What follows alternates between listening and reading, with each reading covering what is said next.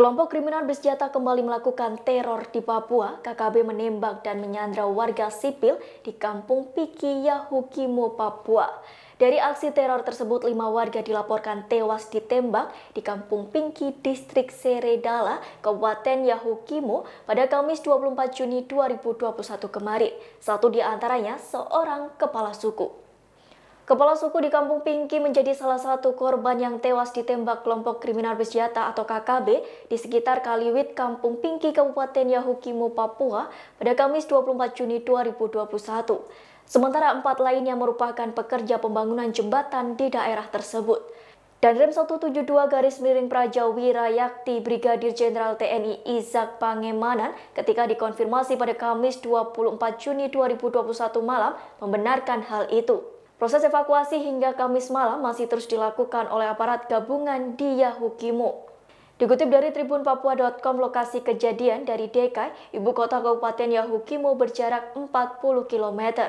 Dari informasi yang didapatkan, lokasi kejadian dekat dengan lokasi penambangan ilegal. Wilayah itu merupakan wilayah perbatasan Kabupaten Yahukimo dengan pegunungan Bintang, Asmat, dan Boven di Goel.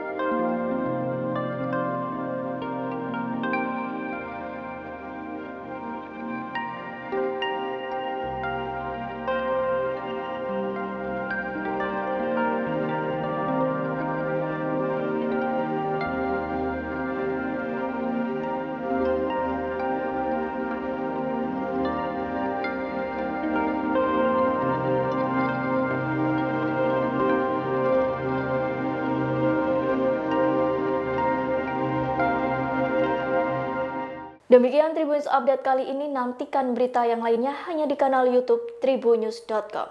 Terima kasih sudah nonton, jangan lupa like, subscribe, dan share ya!